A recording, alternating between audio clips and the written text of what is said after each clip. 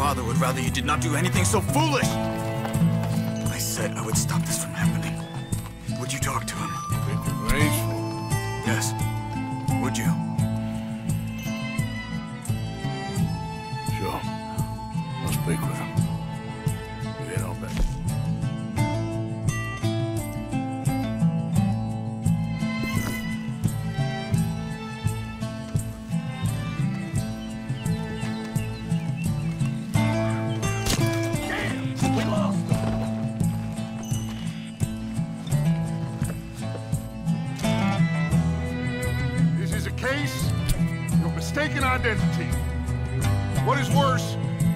Than admonishing a man for the sins of another? Ah!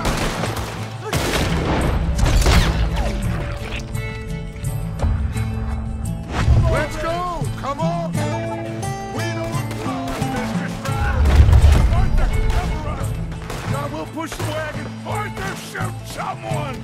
I'm trying. You can talk. We all heard you whine about a little nick from a wolf.